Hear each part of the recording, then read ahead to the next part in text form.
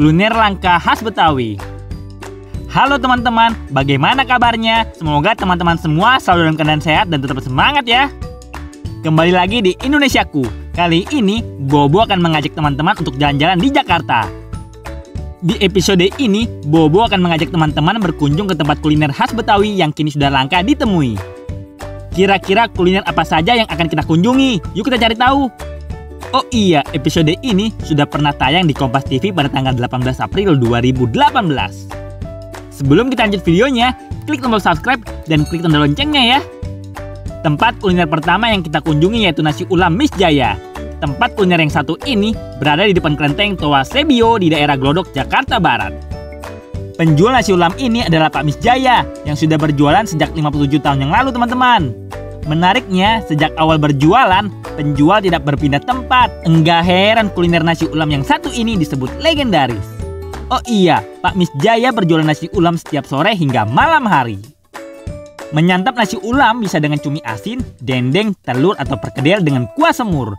Tidak lupa nasi diberi daun kemangi agar lebih wangi teman-teman.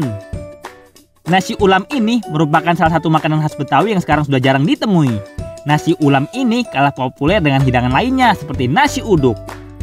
Perbedaan nasi ulam dan nasi uduk antara lain, nasi ulam merupakan nasi putih dengan campuran bumbu kacang, serundeng, kuah semur, dan berbagai lauk pelengkap. Sedangkan nasi uduk terbuat dari nasi putih yang diaron dan dikukus dengan santan serta diberi bumbu rempah pilihan. Karena itulah makanan khas Betawi tidak hanya nasi uduk dan soto Betawi, tetapi ada juga nasi ulam. Setelah dari nasi ulam Miss Jaya, kita berkunjung ke dapur Betawi yang berada di Jalan Pondok Raya Pamulang, Tangerang Selatan. Sesuai dengan namanya, suasana tempat ini seperti masa Betawi zaman dulu. Pemilik restoran ini ingin melestarikan budaya Betawi melalui makanan teman-teman. Di dapur Betawi, kita bisa menemukan sajian khas Betawi yang sudah langka, yaitu sayur besan. Sesuai dengan namanya, sayur ini menjadi makanan wajib saat perkawinan adat Betawi. Yang khas dari sayur besan adalah terubuk yang bentuknya mirip bunga tebu. Kuah sayur besan ini kental mirip kuah laksa, rasanya gurih banget. Sayur besan paling enak dimakan dengan ikan gabus asin.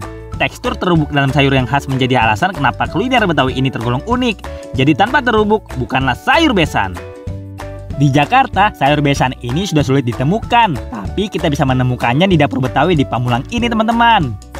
Selain sayur besan, dapur Betawi juga menyajikan makanan khas Betawi lainnya yang sudah langka, seperti gabus pucung dan pecak gurame. Ngomong-ngomong soal sayur besan, sayur yang satu ini terdiri dari terubuk yang dicampur dengan bumbu cabai merah, bawang merah, bawang putih, dan garam. Lalu tambahkan gula pasir dan terasi teman-teman. Setelah itu, tumis bumbu yang sudah diulek. Masukkan daun bawang, tomat iris, dan daun salam. Lalu tunggu sampai matang dan wangi. Barulah masukkan santan, kentang, dan terubuk. Terubuk mudah matang dan teksturnya empuk sekali. Salah satu alasan mengapa sayur besan langka ialah karena tanaman terubuk sangat sulit ditemukan. Hanya beberapa tempat seperti di Pasar Parung terubuk dijual teman-teman. Satu ikat terubuk seharga Rp80.000. Saking mahal dan langkanya, banyak orang yang enggan memasak sayur besan lagi. Nah, itu tadi episode Indonesiaku kali ini. Jangan sampai makanan khas Betawi itu sampai punah ya. Kalau bukan kita yang melestarikannya, lalu siapa lagi? Teman-teman, jangan lupa kunjungi website untuk anak ya, bobo.id. Like, comment, share, dan subscribe juga ke channel Bobo yuk!